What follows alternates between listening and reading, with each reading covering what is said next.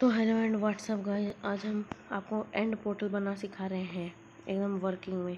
पहले आपको इधर का ही फेस करके एक दो और तीन फिर फेस का इधर चेंज कर लेना फिर करना एकदम फेस के ही डा, सामने डालना एक दो तीन फिर इधर करना एकदम फेस वाई फेस एक दो तीन एक दो तीन चलो सब सही से लग चाहिए ठीक ना गाइस?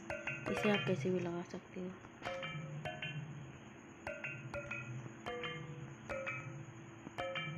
ये देखो देखो इतना चल के ये देख सकते हैं चलिए मिलते हैं गुड बाय